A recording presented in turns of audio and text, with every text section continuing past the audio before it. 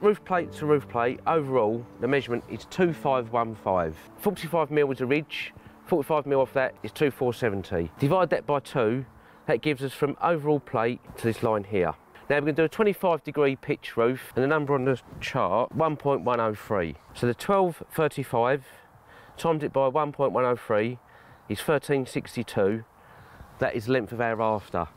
So again from here to here is 1362. So you have to know the angle of your roof.